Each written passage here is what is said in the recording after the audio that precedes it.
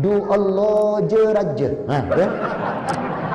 Jogja jawab, Gusti Allah ageng sangat coba. Begitu Sunda, du Gusti ageng pisan euy. Yang sini Allah besar pula lah kau. Nah oleh karena itu setelah rukuk itidal, apa yang terjadi? Darah dari otak tadi turun. Yes. Nah itu dia. Mahal itu turunnya sampai ke lutut. Terus sujud. Apa nikmatnya sujud? Nih, nikmatnya sujud. Akidah dulu ya. Man ida sajatukum enda wajabahum. Hamba yang sujud dalam sholatnya, doanya tidak ditolak. Jadi kalau antum pas jadi makmum, imam sujud, sujudnya lama. Antum sudah baca ini. Subhana rabbiyal a'la. Subhana rabbiyal a'la. Subhan. Kok imamnya belum bangun? Jangan diinceng. Ngapain ini nanti? Lama banget. Rugi, langsung doa kata Rasul. Katiru doa. Perbanyak doamu. Rawahunya apa? Bukhari Muslim. Siapa perawinya? Ali bin Abi Thalib radhiyallahu anhu perawinya. Baca doa. Ustaz, doanya pakai bahasa apa? Bahasa Arab. Kenapa? Salat itu ada tiga rukun besar. Rukun kauli, ucapan. Rukun fi'li, gerakan. Dan rukun kolbi, hati. Maka doanya harus bahasa Arab. Apa boleh nggak bahasa Arab? Boleh. Ajman ulama mensepakati dengan catatan di dalam hmm, tutup nggak terbuka. Mau doa apa? Sembarang. Duh remak ya Allah, nek hancur pesena telur taya Mau pakai boleh diterima sama Allah. Bagi apa aja boleh. Ya. Yang penting tidak bersuara. Kalau doa itu dalam selain bahasa Arab. Makanya kenapa ada rukun kauli? Kalau nggak ada rukun kauli rusak sholat. Bayangkan kalau imamnya dari Sumeneb. Makmumnya yang di belakang beliau persis Jogja. Sampingnya orang Bandung. Yang kanan Medan. Uh, parah ini kalau nggak ada rukun kauli, imam duluan. Du Allah jeraja. Nah, ya.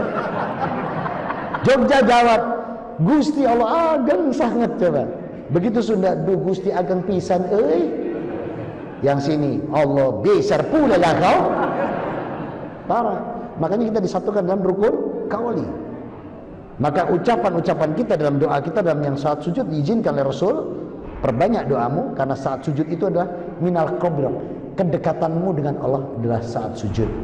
Dan apa yang terjadi dalam penelitian medis saat sujud itu terjadi ila sab'a milamin art. Ada tujuh titik yang menempel di bumi. Mana? Muqaddamu wa anfu. Dahi dan hidung satu titik. Yadaihi yumna dua. Wa yadaihi yusra tangan kiri. Berapa? Tiga. Wa rukbatai yumna wa yusra. Lutut kanan kiri. Wa muqaddamahu jari-jari kaki kanan dan kiri. Tujuh kan? Ini kalau nempel, apa yang terjadi? Terjadi proses rejuvenasi sel. Maka sel yang mati itu diganti oleh Allah dalam keadaan hambanya saat bersujud. Allahu Akbar. Surat 20, 132. Masya Allah. Ini loh indahnya. Ini dahsyatnya. Ini yang membuat saya kenapa pindah. Nah, oleh karena itu saudara-saudaraku, dahsyat sekali salat itu. Sujud.